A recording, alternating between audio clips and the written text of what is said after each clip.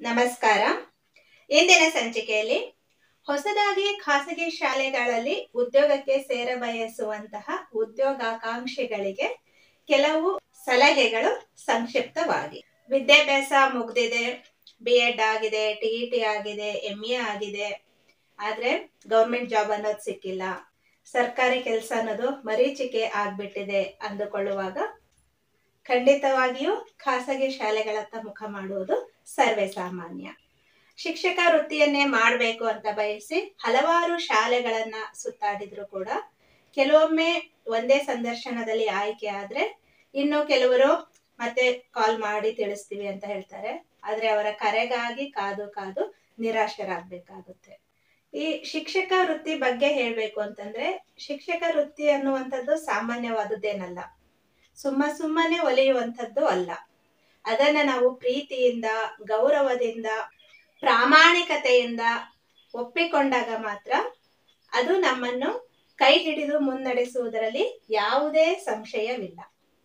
ಬನ್ನಿ ಹಾಗಾದರೆ ಈ ವಿಷಯದ ಕುರಿತು ಒಂದಿಷ್ಟು ಮಾಹಿತಿಯನ್ನು ಹಂಚಿಕೊಳ್ಳೋಣ. ಮೊದಲನೇದಾಗಿ, ಗುರಿ ನಿಶ್ಚಿತವಾಗಿರಲಿ. ಶಿಕ್ಷಕ ವೃತ್ತಿ ಅನ್ನುವಂಥದ್ದು ಯಾವುದೋ ಒಂದು ಕೆಲಸ ಅಂತ ಅಂದುಕೊಳ್ಳದೆ ಅದೇ ನಮ್ಮ ಕೆಲಸ ಅಂದುಕೊಂಡು ಒಂದು ಗುರಿಯನ್ನ ನಾವು ಸಿದ್ಧ ಮಾಡಿಕೊಳ್ಬೇಕು. ಆ ಶಿಕ್ಷಕ ವೃತ್ತಿಯನ್ನ ಪ್ರೀತಿಯಿಂದ ಆಯ್ಕೆ ಮಾಡಿಕೊಂಡು ಅದಕ್ಕೊಂದು ನಿಗದಿತ ಗುರಿಯನ್ನ ನಾವು ಇಟ್ಟುಕೊಂಡಾಗ ಯಾವುದೇ ಶಾಲೆ ಆದ್ರೂ ಸರಿ ನಾನು ಶಿಕ್ಷಕ ವೃತ್ತಿಯನ್ನ ಮಾಡ್ತೇನೆ ಅನ್ನುವಂತ ಒಂದು ಗುರಿಯನ್ನ ಇಟ್ಟುಕೊಂಡು ಮುನ್ನಡೆಯಬೇಕು. ನಂತರ ರೆಸ್ಯೂಮ್ ಅಥವಾ ಬಯೋಡಾಟಾ ಅಥವಾ ಕರಿಕ್ಯುಲರ್ ವೀಟಾ ಅಥವಾ ನಮ್ಮ ವೈಯಕ್ತಿಕ ಮಾಹಿತಿ ಅನ್ನುವಂಥದ್ದನ್ನ ಅಂದವಾಗಿ ಅಚ್ಚುಕಟ್ಟಾಗಿ ನಾವು ಅದನ್ನ ರೆಡಿ ಮಾಡ್ಕೋಬೇಕು. ಆ ರೆಸ್ಯೂಮ್ ಅಲ್ಲಿ ಸಂಪೂರ್ಣವಾದಂತಹ ವಿವರಗಳನ್ನ ಕೊಡ್ಬೇಕು. ನಾವು ಎಷ್ಟು ಹೇಳ್ಬೇಕು ಅಂತ ಅಂದ್ಕೊಂಡಿರ್ತೀವೋ ಅದನ್ನ ಸಿಂಪಲ್ ಆಗಿ ಅದರಲ್ಲಿ ಕೊಟ್ಟಿರ್ಬೇಕು. ಹೆಸರು address phone number email I D ಹಾಗೇನೆ.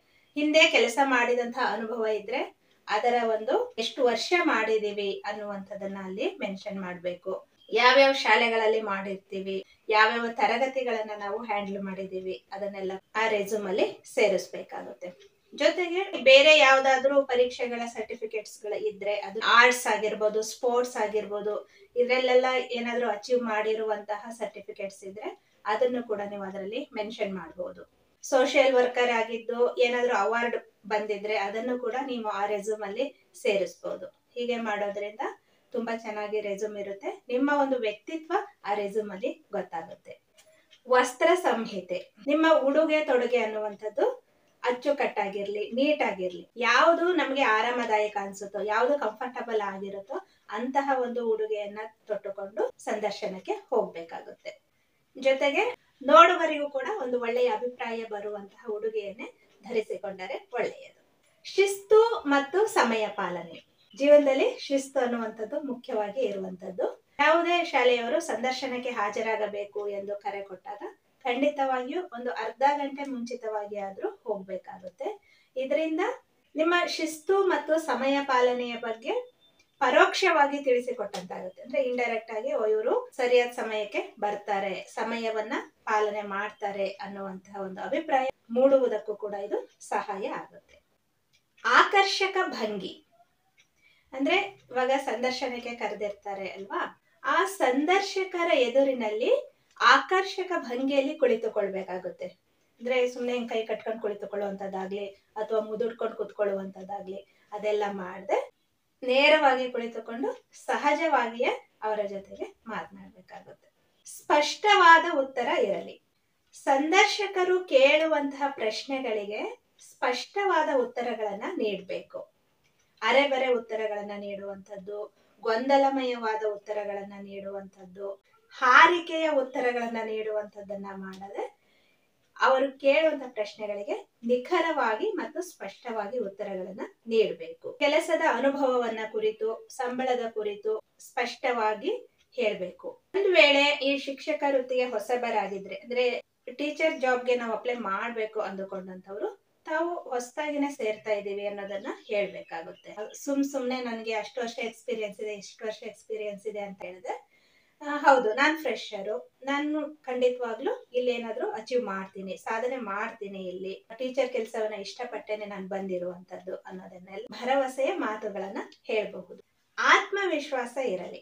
ಸಂದರ್ಶನ ಎಲ್ಲೇ ಇರಲಿ ಹೇಗೆ ಇರಲಿ ಸಂದರ್ಶಕರು ನಿಮ್ಮೆದುರು ಎಷ್ಟೇ ಜನರಿರ್ಲಿ ನೀವು ಧೃತಿಗೆಡದೆ ಆತ್ಮವಿಶ್ವಾಸದಿಂದ ಮಾತನಾಡಿ. ಭಯ ಪಡದೆ ಆತಂಕಕ್ಕೆ ಒಳಗಾಗದೆ, ಗಡಿಬಿಡಿ ಮಾಡಿಕೊಳ್ಳದೆ ಸಮಾಧಾನವಾಗಿ ಉತ್ತರ ನೀಡಬೇಕು. ಧನಾತ್ಮಕವಾಗಿ ಯೋಚಿಸಿ. ಕೆಲಸ ಮಾಡಬೇಕು ಅನ್ನುವ ಹಂಬಲ ಇರೋರಿಗೆ ಅವರು ಇಷ್ಟಪಡುವಂಥ ಕೆಲಸ ಎಲ್ಲೋ ಒಂದೆಡೆ ಕಾದು ಕುಳಿತಿರುತ್ತೆ.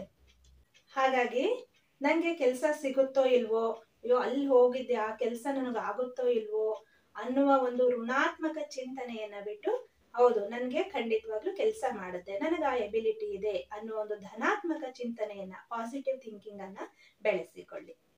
ಒಂದಲ್ಲ ಒಂದು ಕಡೆ ನಿಮ್ಮ ಸೇವೆಯ ಋಣ ನಿಮ್ಮನ್ನ ಕೈ ಬೀಸಿ ಕರೆಯುತ್ತದೆ. ಈ ರೀತಿಯಾಗಿ ನೀವು ಧನಾತ್ಮಕವಾದ ಯೋಚನೆಯಿಂದ, ಸಂತೋಷದಿಂದ ಸಂದರ್ಶನವನ್ನು ಎದುರಿಸಿ, ಇಷ್ಟಾದ ನಂತರ ನಿಮ್ಮ ಒಂದು ಪಾಠ ಪ್ರವಚನ ಯಾವ ರೀತಿ ಇರುತ್ತೆ ಅನ್ನೋದನ್ನ ನೋಡ್ತಾರೆ, ಅದಕ್ಕೋಸ್ಕರ ಡೆಮೋ ಅಂತ ಹೇಳ್ತಾರೆ. ಸೊ ಆ ಡೆಮೋ ಕ್ಲಾಸ್ ಮಾಡೋದಕ್ಕೆ ಸಿದ್ಧತೆಯನ್ನ ಮಾಡ್ಕೊಳ್ಳಿ. ಮುಂದಿನ ಸಂಚಿಕೆಯಲ್ಲಿ ಡೆಮೋ ಕ್ಲಾಸ್ ಬಗ್ಗೆ ನಾನು ತಿಳಿಸ್ಕೊಡ್ತೀನಿ. ಈ ವಿಡಿಯೋ ನಿಮಗೆ ಇಷ್ಟವಾಗಿದ್ದರೆ ಖಂಡಿತ ಶೇರ್ ಮಾಡಿ ಲೈಕ್ ಮಾಡಿ, ಜೊತೆಗೆ ಸಬ್ಸ್ಕ್ರೈಬ್ ಮಾಡುವುದನ್ನ ಮರೆಯದಿರಿ. ಹಾಗೆಯೇ ಇನ್ನು ಏನಾದರೂ ನೀವು ಹೇಳಬೇಕು ಅನಿಸಿದ್ರೆ ನಿಮ್ಮ ಒಂದು ಅನುಭವ ಎಕ್ಸ್ಪೀರಿಯನ್ಸ್ ಅನ್ನುವಂಥದ್ದು ಏನಾದರೂ ಇದ್ರೆ ಖಂಡಿತವಾಗ್ಲೂ ಕಮೆಂಟ್ ಮಾಡಿ ತಿಳಿಸಿ. ಇದರಿಂದ ಎಲ್ರಿಗೂ ಕೂಡ ಉಪಯುಕ್ತ ಆಗಲಿ. ಧನ್ಯವಾದ.